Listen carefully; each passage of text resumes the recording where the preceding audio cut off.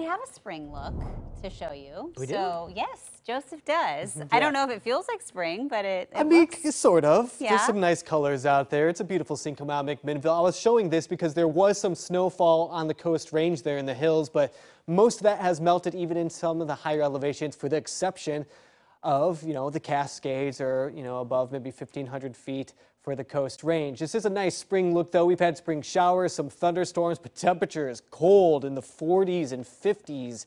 We should be about 61 degrees right now in the lower 60s.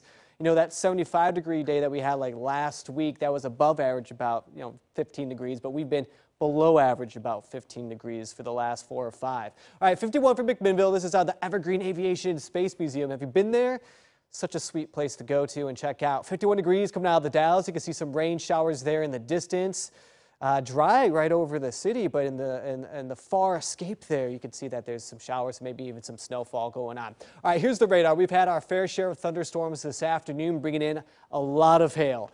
Very similar to some of the hailstorms that we had going on yesterday. Very small hail, and at times maybe even some graupel. So it's been kind of mixed no doubt about that. It's been drying up though a little bit around areas of wine country where we were just looking through McMinnville over towards the Stoller Winery there and extending down to the south. We'll likely have some more moisture fill in that gap there as we go into tomorrow morning. But for the most part tonight, things are kind of settling down southwest of Portland and through areas of uh, the hills there. Okay, here's what's going on closer to home. Portland through Lake Oswego. We have West Linn, Happy Valley, Tualatin area, we do have some showers, maybe a heavier shower there just over Lake Oswego, which will be pressing to the east. But this cell right here has really been picking up some steam just north of Camas. This area right here kind of extending up towards uh, maybe Battle Ground and Hockinson region. But this is going to be some very heavy rain and some hail right there, maybe even transitioning to snowfall for the higher elevations kind of tucked into the Cascade foothills up in Washington. All right, I'll zoom it on out. You can see that things are kind of drying and a little more stable here. There's a lot of moisture to the south. This is actually a separate system that's going to kind of peel to the northeast.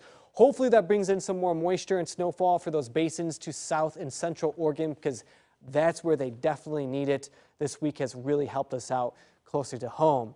Today, bringing in that hail, as I mentioned, and a lot of storm activity. It's because of this cold air aloft, this upper level troughing that's been over the top of us for the last four days it's pretty much sticking around as we go into the weekend. There's going to be a brief moment where we'll have a ridge, which is going to be this bump that arrives on Sunday.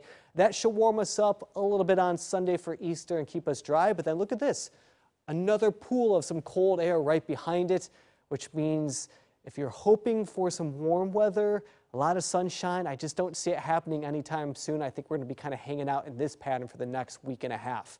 All right, Futurecast through the uh, rest of today, it starts drying up. We're going to clear out too. I think it's going to get cold tonight, down to near freezing. If you have anything outdoors that's a little vulnerable to that, you're going to want to cover it, take it inside.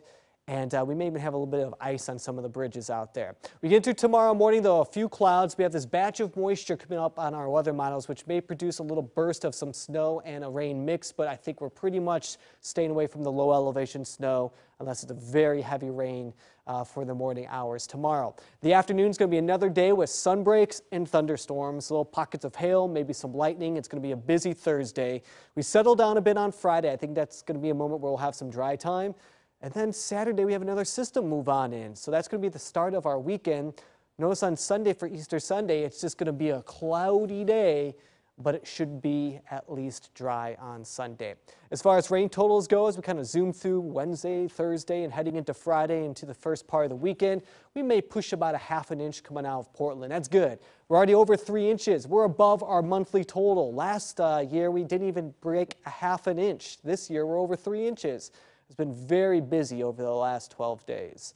And uh, we can use it, and uh, we'll use it in the summer as well as far as that snowfall goes for the mountains. All right, seven day forecast 50 degrees on Thursday with a couple thunderstorms. I mentioned lower 50s next couple of days. The warmest one is actually on Sunday with just a high of 58, but uh, should feel pretty nice, I guess, relatively Okay. speaking. Is Sunday Easter? It is. Yeah. Yeah. Look at that. Nice I've, I've got teenagers, but they still like finding finding the eggs. It's always fun. Uh, My, wi- Sure. my wife said she's going to make Easter baskets for our kids. I go, are you going to mail them to them? She said, yes, I'm going to mail them to them. Oh, okay. Aw, she's a good mom. Yeah, good mom. Yeah. Yeah.